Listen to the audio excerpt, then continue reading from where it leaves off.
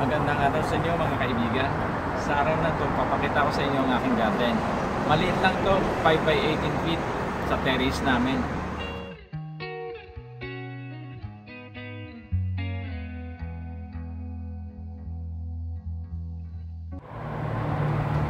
Mga kaibigan, ito ang aking mustasa.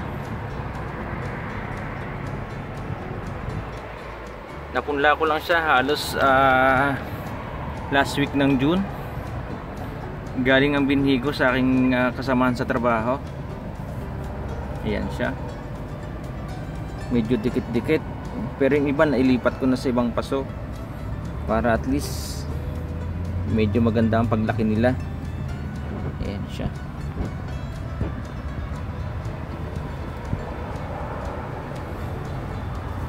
Ito naman ang aking sitaw. Ayan siya. In-order ko pa ang binhi nila ah, online kasama ng okra. Ayan. Halos gumagapang na sila.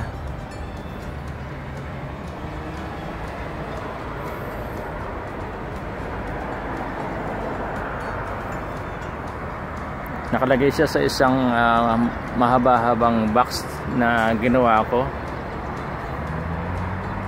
gawa sa kahoy ang kanilang balag binili ko rin dito sa tindahan dito malapit sa amin. Yung siit yung mga wire yung tali uh, nag-iipon ako ng mga pwede pang gamitin. Yan na dapat itatapon na pero iniipon ko. Ayan siya. Mga 2 weeks lang siguro bubulaklak na ang mga to yung pinakasandalan ng aking pagapangan yan yung luma naming lamesa. Yan siya. Hindi na namin nagagamit. So yan ang ginawa kong pinakang uh, lalagyanan ng mga siet para mas matibay na pagapangan. Nasa gilid lang siya halos ng aming terrace. Kasi nga wala kaming pwestong malaki so pinagkasya ko lahat ng tanim ko mula rito. Ito namang mga talong. Nabili na namin yan maliit pa. Yung pinakang pantanim. Ngayon ang lalaki na nila. Tinanim ko siya sa tigi-tigi isang paso para mas maganda ang kanilang paglaki. Ayan may bulaklak na siya. Sana magtuloy-tuloy na mamulaklak ng makaani ng maganda. Ayan.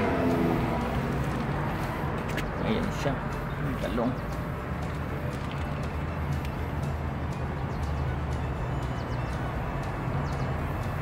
ito naman ang aking mga kamatis. Cherry daw to sabi nung napagtanungan namin. Kasi hindi kalakihan. Yan namumunga na siya yan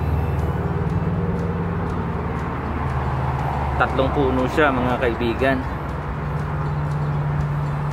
Tinamnan ko rin siya sa ilalim ng ano ng carrots para at least ma-maximize ko yung aking pwesto. Sana lumaman na maganda yung carrots. Ayun siya. Pati sinalitan ko rin ng ibang mustasa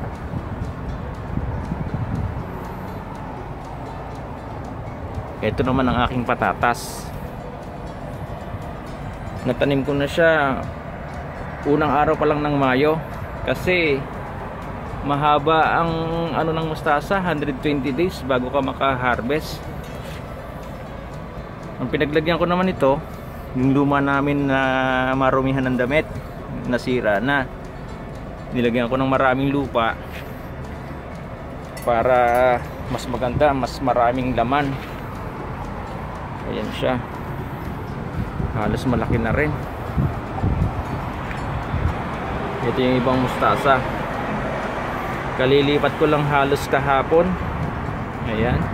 Medyo nilagay ko siya sa malilim na pwesto para hindi malanta maarawan. Pag bigla siyang naarawan matutuyo ang dahon yan pagka nasikatan ka agad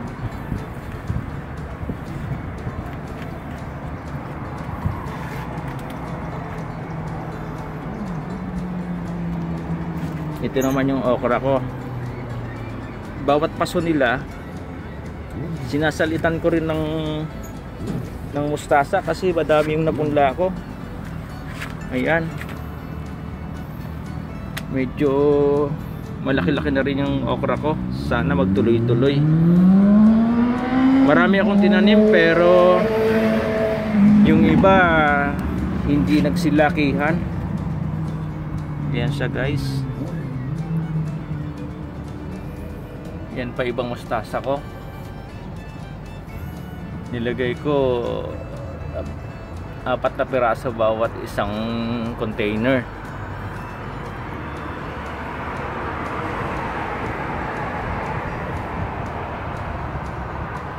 Yung mga lupa ko binibili ko rin dito malapit sa amin. Ayan. Ito naman ang aking mga mais yan. Medyo dikit-dikit siya kasi halos pinagkasya ko lang sa isang container. Ayun siya ngayon malalaki na. Ayun siya.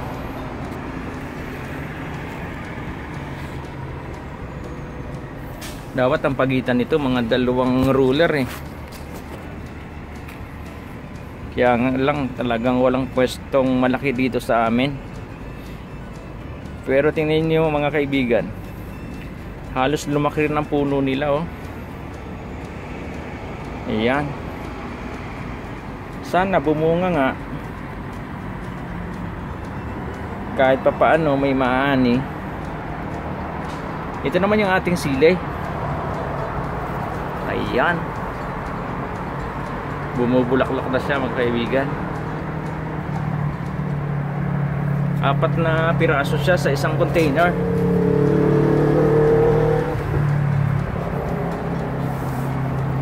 Nabili rin namin siya uh, maliliit pa. Yan. Bulaklak nila ito na siguro mga dalawang linggo lalaki na yung ano niyan yung pinakang yung, yung nasa taas yung buko niya. Ito pa isa. Bumubulaklak na rin ito namang isa tinuka ng kalapati nung nakaraang buwan kaya medyo late siya bumulaklak nagsanga-sanga lang kasi parang na pruning ang lumabas eh. Lumabas na parang pinruning gawa ng pagkakatoka ng kalapate. Yun siya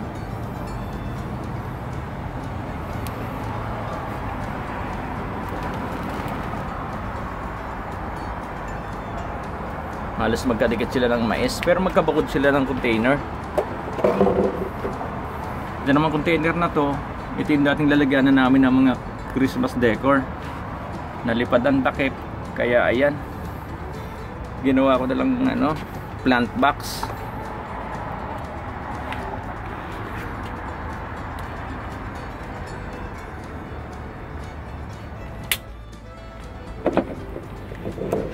ito pa ibang carrots ko.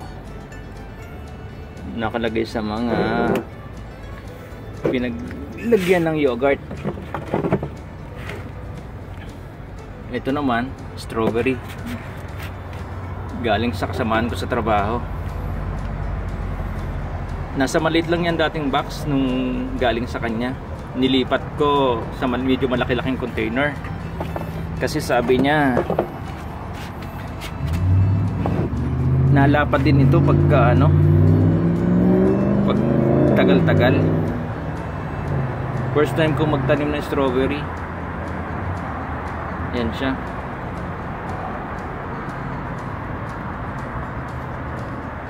Ito naman yung ginawa kong pangharang laban sa hangin.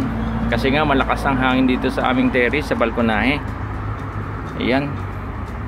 Ginawa ko siya para kahit pa paano may panlaban yung mga halaman ko sa pag napaspas ng hangin. Ayan sa guys. Ito yung aming terrace. Iyan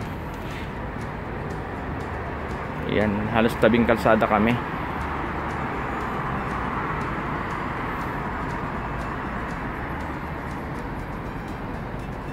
Ayan mga kaibigan yung aking taniman.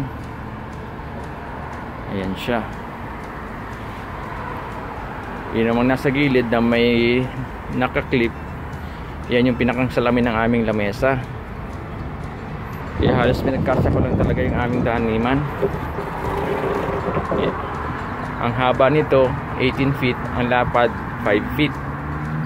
Tapos siyempre may nakalagay pang ibang mga abu abubot namin dito sa terrace. Ayan, tulad nun. Ando yung aming ihawan. Bihira namang magamit. Ayan na. Ang gandang tinan pagka naglalakihan na inyong mga tanim. Ayan siya oh. Kita nyo, malakas ang hangin. Kung wala yung harang na ginawa ko, halos mapapaspas ang dahon ng aking mga halaman. So yun lang mga kaibigan. Maraming salamat sa inyong panonood.